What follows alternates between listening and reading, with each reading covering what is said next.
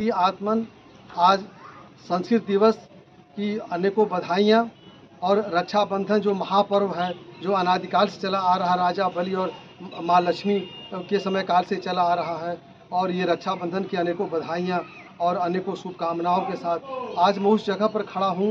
ये कभी मैं जब छोटा सा था और वो एक साल, दो साल का तब माँ के गोद में यहाँ पर आता था। ये अति प्राचीन मंदिर है, सैकड़ों वर्ष हो गए। और ये ये इस तरह इस तरह की मूर्ति, ये मान कन्याकुमारी है। या तो उत्तर भारत में ये यहाँ पर, ये जो वाराणसी में ये है, इसको टेगरा शंकरगढ़ कहा जाता है, और जो वाराणसी जनपद में आता है। और दूसरा कन्याकुमारी जो साउथ इंडिया में है, ये अति अति प्राचीन मंदिर है। और यहाँ ये माँ कन्याकुमारी इनको त्रिपुर सुंदरी कहा जाता है। और ये अपने में अद्वितीय है। ये महाकाली, महालक्ष्मी, महासरस्वती माँ पार्वती माँ शारदा जो भी कहा जाए, वो सब सब इन्हीं का स्वरूप है।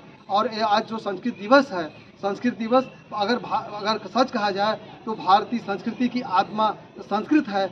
और आज संस्कृत पूरे जो ब्रह्मांड में गूंज रही है, पूरा वेद, पुराण, शास्त्र आगम निगम सब कुछ संस्कृत में रचा गया और संस्कृत, वो भारत की संस्कृति की आत्मा है। अगर हम संस्कृत को अगर हटा दें तो वो अस्तित्वहीन हो जाता है। इसलिए जो हमारी भारतीय संस्कृति है अगर वो शरीर है संस्कृति तो संस्कृत ये भाषा आत्मा है कि ये भाषा और लिटरेचर पूरे संसार में विख्यात है। इसके बारे में कुछ कहने की आवश्यकता नहीं है।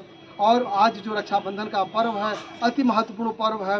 इस महत्व इस इस महत्वपूर्ण ये भाई बहन का ये ये जो के बीच में जो अटूट बंधन है रक्षा का, ये अनादिकाल से चला रहा है और राजा बलि और माँ लक्ष्मी के बीच का प्रसंग सब लोग आप जानते ही हैं। और आज का दिन अति पावन है। सबसे बड़ा एक तो श्रावण पूर्णिमासी रक्षाबंधन संस्कृत वो दिवस और ये, इस तरह से ये बहुत ही सुंदर समागम है।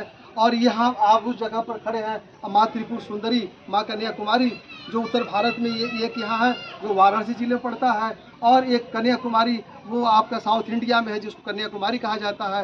ये ये अत्यधिक यहाँ बैठकर साधन भजन करने से और मनो में, मन में जो भी भावना रहेगी, वो माँ उसको पूर्ण करती हैं। मैंने अपने बचपन से लेकर आज तक इस अवस्था तक मैंने जो बहुत कुछ माँ के आशीर्वाद से पाया और आगे भी जो कुछ होगा, वो सब माँ के आशीर्वाद से होगा। मैं बहुत अधिक नहीं इतना ही खाली कहूँगा कि इस स्थान जितना हो सके, अगर कोई आवे और भजन भाव करे और दुर्गा सप्तशती के श्लोकों का पाठ करे, माँ का वो, का ध्यान करे, और ये देखिए, यहाँ पर ये माँ का वाहन सिंह, माँ का वाहन सिंह है, और यहाँ पर ये ये पाँच देवता इस मंदिर में विराजमान रहते हैं। गणपति है, सूर्य है, कृष्ण है देवादिदेव महादेव हैं और और जग, और जगत की वो पालन करता सर्वशक्तिमान वो माँ अंबिका, माँ कन्याकुमारी, माँ त्रिपुर सुंदरी, इनको जो भी कहा जाए, महाकाली, महालक्ष्मी, महासरस्वती, सब कुछ यही है। यहाँ ध्यान भजन सर करने से और वो हर तरह की वो खुशहाली, हर तरह की सुख समृद्धि प्राप्त हो जाती है और मनोकामना पूर्ण हो जाती है। माँ माँ के जीवन, माँ के आशीर्वाद से मेरा जीवन धन्य धन्य हो गया। मैं कुछ माँ से मांगा नहीं, लेकिन माँ ने इतना दे दिया कि उसको हम शब्दों में वर्णन नहीं कर सकते। मैं अपनी बातों को यहाँ पर वो विराम देता हूँ। ये माँ का, माँ के चरणों में नमन करते हुए और ये निवेदन करता हूँ सबसे कि आप लोग यहाँ आइए, दर्शन करिए, साधन भजन करिए, अपने जीवन को धन्य बनाइए। धन्यवाद।